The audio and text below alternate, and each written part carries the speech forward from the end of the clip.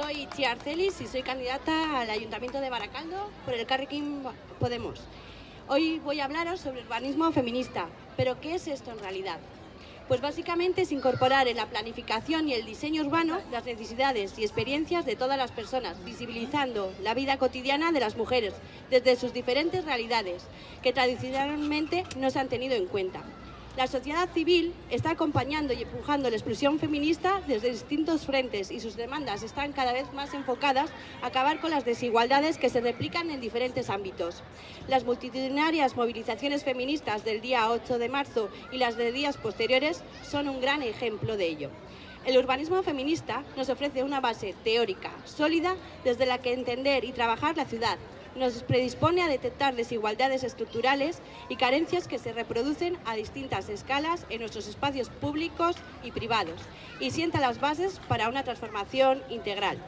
Y es que el urbanismo no es neutro y Baracaldo, la mayor parte de su diseño, ha tomado como modelo lo masculino, olvidando la presencia de mujeres, niños y niñas, mayores y distintos colectivos subalternos, siendo una ciudad preparada para la vida productiva, pero que da la espalda al ámbito doméstico o reproductivo. Vivimos en una ciudad diseñada y planificada desde una óptica masculina, basada en las necesidades del hombre, un hombre adulto, occidental, trabajador, sano y en general motorizado. ¿Pero por qué digo esto? Pues para responder a esta pregunta solo hay que pensar en esas aceras en las que nos juntamos tres personas y no cabemos más, o esos bancos individuales e incómodos en los que si estás más de media hora te duele la espalda, en las escaleras sin rampas que no te permiten subir con el carro de la compra o con un carrito de bebé, Incluso la falta de transporte público, cuando sales de trabajar del Mass Center, del cual no es solo complicado volver andando si no dispones de vehículo. Es que si vuelves andando y de noche a ciertas horas te encuentras insegura. Y esto también tiene que ver con cómo está diseñada nuestra ciudad.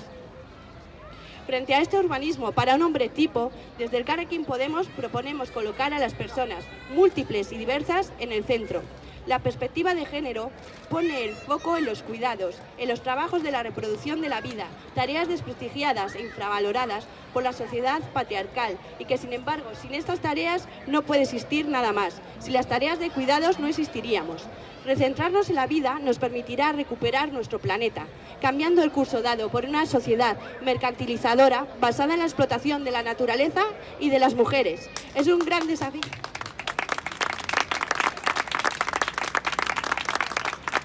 Es un gran desafío atrevernos a pensar más allá de lo monetariamente utilitario, de dejar de planificar territorios y ciudades que agotan nuestro tiempo finito en recorridos inútiles o exclusivos. El reconocimiento de las diferentes maneras de utilizar el tiempo y el espacio que deriva la visión de los roles de género son datos que nos permitirán trabajar políticas urbanas más inclusivas, que tiendan a la igualdad de oportunidades en el acceso al derecho a la ciudad Así, mapear y medir recorridos, tareas, tiempos, razones, y modos de movilidad es una primera acción de visibilización y reconocimiento de necesidades diferentes para llenar de sentido propuestas urbanas. Dejar de priorizar la movilidad lineal de casa al trabajo e incluir la movilidad que exigen los cuidados, llevar a nuestras niñas y niños al parque, acompañar a nuestras abuelas y abuelos al médico. En la planificación de las ciudades es uno de los objetivos principales del urbanismo feminista. Una forma de diseñar el espacio que quiere tener en cuenta la experiencia de las mujeres a partir del rol de cuidadoras que históricamente nos han asignado. El modelo de ciudad actual tiende a poner en el centro lo relacionado con lo productivo y lo remunerado, tradicionalmente vinculado a lo masculino, mientras el ámbito de lo productivo del que se encargan mayoritariamente las mujeres es invisible. Las tareas de cuidado no tienen dos únicos puntos de salida y de llegada, sino muchos más. En un mismo trayecto llevas a los niños y a las niñas a la escuela, vas al trabajo, al salir pasas por la panadería a comprar el pan, vuelves a la escuela a recogerlos, vas al centro médico a acompañar a un familiar y a la salida vas un rato al parque para que jueguen. Y mientras hacemos esto no podemos encontrarnos barreras. Nuestros parques infantiles, por ejemplo, no responden al modelo de ciudad feminista, ya que no se ajustan a las necesidades de los, de los y las más pequeñas, ni de las mujeres que en su mayoría somos las que vamos con ellos y ellas. No hay casi parques infantiles cubiertos en Baracaldo. ¿Pero por qué no se ha tenido en cuenta antes? Porque nuestras necesidades no son tenidas en cuenta, son invisibles. Frente a esta concepción de la ciudad que obliga a, entregar grandes a enfrentar grandes desplazamientos diarios, priorizan los coches, fomentan los espacios en desuso o conciben las calles como lugar de tránsito y no de encuentro.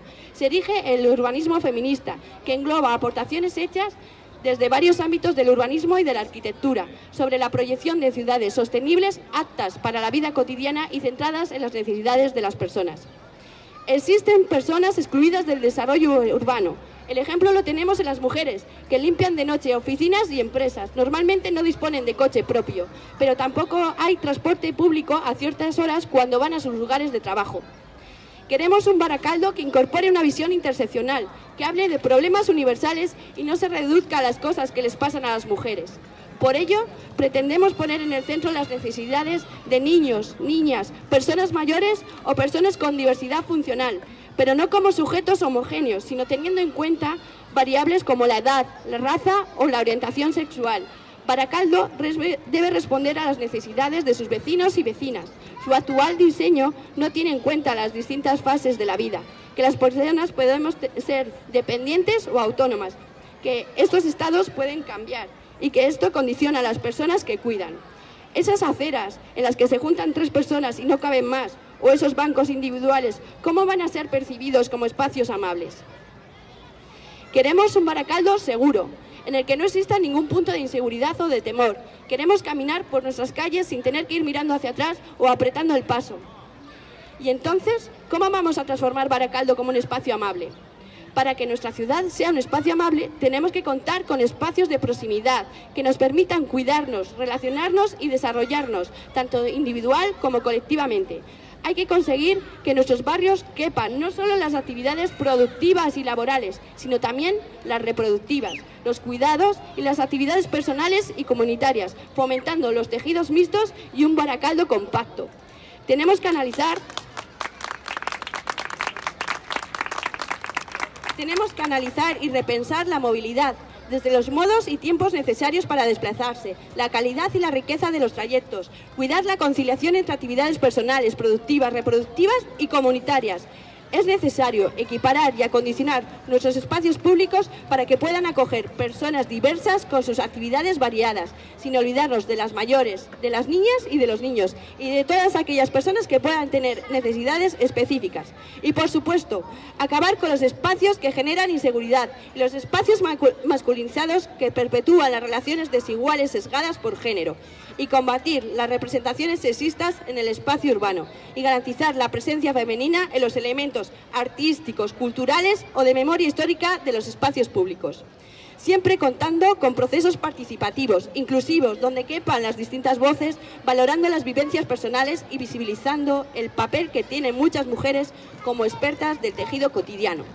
Desde el Carrequín Podemos vamos a crear un modelo de ciudad sostenible, cercana y humana, con más zonas verdes, de esparcimiento y de encuentro en todos los barrios, con más equipamientos socioculturales y de atención a las personas repartidos homogéneamente por todo el municipio y con especial atención a los barrios con más déficit en equipamientos.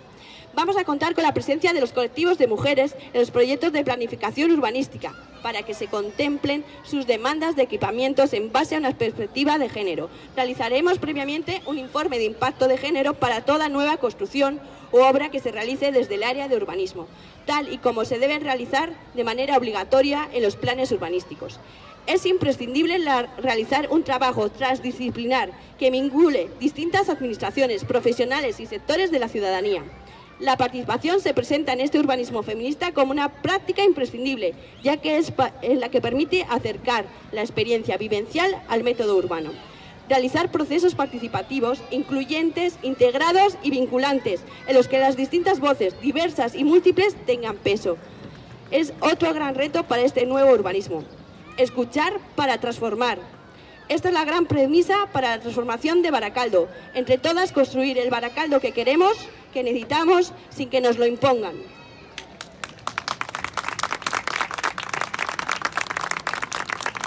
Pondremos en marcha un diagnóstico de evaluación urbana con perspectiva de género para analizar la situación y el uso del espacio público teniendo en cuenta los datos sobre movilidad disgregados por sexo para poder diseñar y aplicar políticas públicas que se adapten a las necesidades de las mujeres.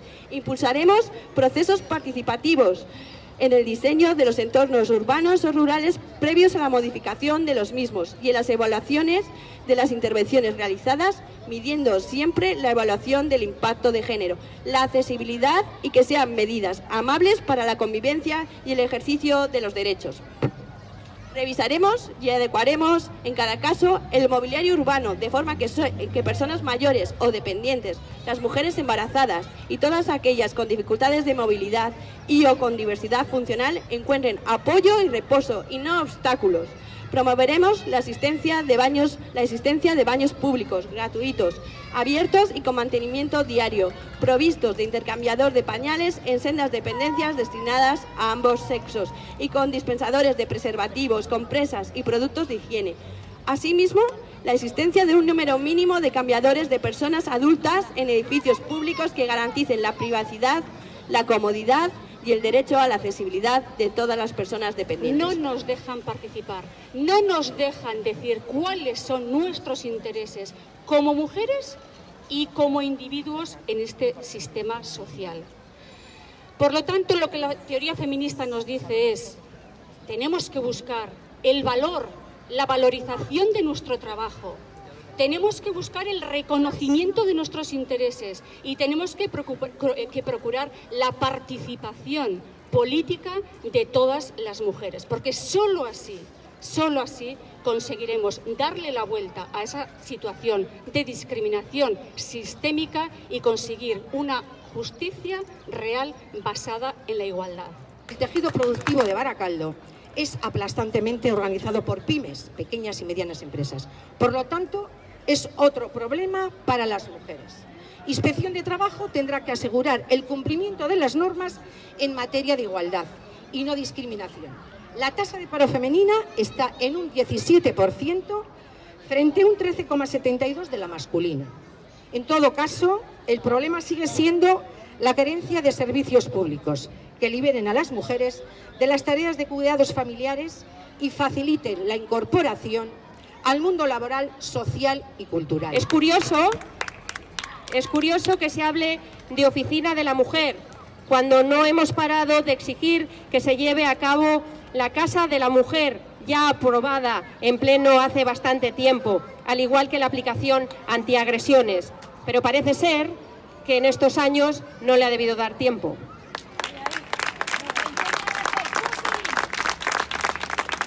Curioso también es que hable de igualdad económica y empleo porque queda muy bonito, pero no se plantee quiénes somos las que limpiamos ni realizamos los trabajos de cuidados en Baracaldo. Que se acuerde de revisar los puntos inseguros de nuestra ciudad a dos meses de las elecciones municipales, mientras que ha tenido cuatro años para eliminar todos los puntos inseguros en Baracaldo. Pero, sin embargo, ha seguido realizando proyectos urbanísticos que seguían presentando estos puntos, también me resultó muy curioso. Pero nos proponen convertir a Baracaldo en una ciudad contra las agresiones machistas, poniendo dos puntos lila con lazos blancos, con lo que estaríamos totalmente de acuerdo. Salvo porque, Amaya, quizá antes de adueñarte de simbolismos, Creemos que es necesario que de verdad se pongan los problemas y las necesidades de las mujeres en el centro. Y eso es lo que no has hecho durante estos cuatro años. Tampoco se ha hecho antes. Hay que ser conscientes de que cuando una mujer víctima de violencia machista acude a uno de los recursos municipales, espera que se le dé toda la información que tenga, no solo el ayuntamiento, sino a nivel de diputación, gobierno vasco, etcétera. Es decir, que la información esté en red. Además hay que tener en cuenta que hay que poner a su disposición toda la información referida a la acogida, a la atención psicológica y asesoramiento jurídico. En conjunto con este plan es necesario diseñar e implantar protocolos locales de lucha contra la violencia ejercida hacia las mujeres en los que participen todos los agentes implicados del ámbito local. Pero estos protocolos solo servirán si la respuesta y la coordinación del ayuntamiento es lo más eficiente posible y si se dispone de los recursos necesarios, es decir, dotarse de una partida presupuestaria.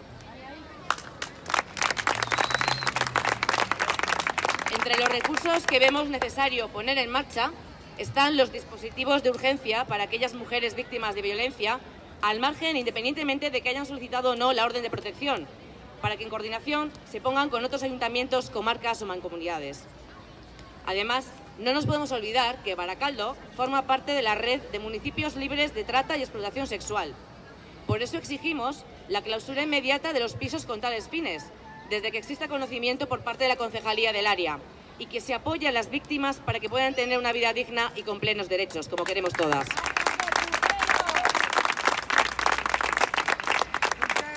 No menos importante es recordar que todo el personal que trabaje en el ámbito de la atención a violencias machistas deben, deben recibir formación en perspectiva de género. Solo así se podrá atender con suficientes garantías a las mujeres. Por último, no nos podemos olvidar que gracias a la participación del movimiento feminista, de todos los movimientos feministas de Baracaldo, se pusieron en marcha en fiestas de Baracaldo y de los barrios el protocolo antiagresiones. No nos podemos quedar ahí. Es necesario reforzar las medidas que son efectivas contra la violencia machista, siempre en colaboración con los movimientos feministas. Política feminista izango da, edo ez da izango. Eskerrik asko. borroka feminista! La llamada crisis de los cuidados es una problemática de dimensiones afectivas y materiales. Por tanto, se empezó a visibilizar cuando se ha problematizado allá por el 2000, aunque nosotras sabemos que esto viene de mucho más tiempo atrás. Cuando se hizo patente que a lo mejor la mano de obra gratuita de las mujeres no era suficiente para absorber las necesidades de cuidado del sistema económico actual.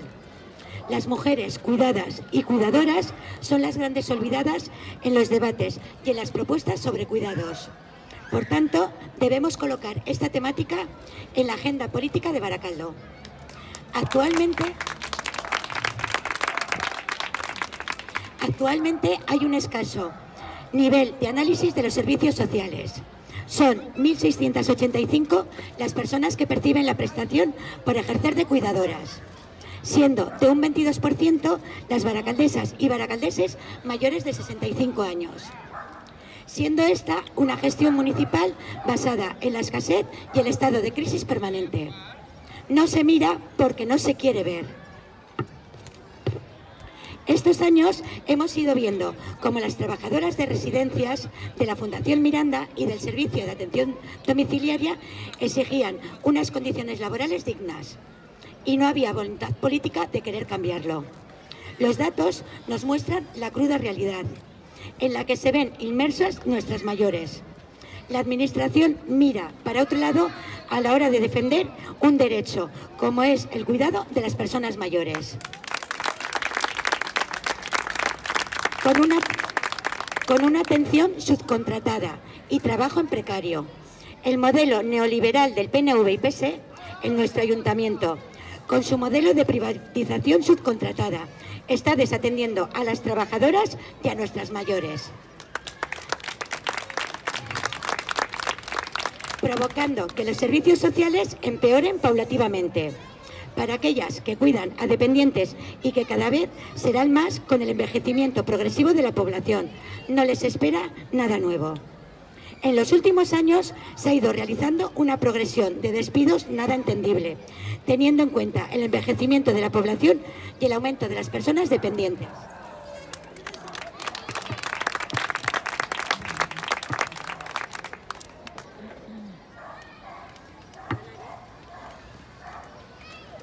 Por ello, debemos rediseñar la política actual de cuidados. Y para ello, desde el Carrequín Podemos, proponemos remunicipalizar el servicio de ayuda domiciliaria, asegurando al hacerlo unas condiciones laborales dignas para todas las trabajadoras. Apoyaremos a las unidades convivenciales con programas de descanso y de formación, como ya ha dicho anteriormente mi compañera, para garantizar una vida digna a las personas cuidadas y a las cuidadoras apostando por la realización de un proyecto de viabilidad para la construcción de centros de día municipales en cada barrio, según las necesidades, apoyando con ello a la generación de empleo digno y de calidad. Además de la creación de un parque de viviendas tuteladas y promoviendo la vivienda compartida. Porque como tú, queremos cuidar a nuestras mayores y a quienes les cuidan, como se merecen, para tener una vida digna El día 26 vota el Carrequín Podemos Baracaldo.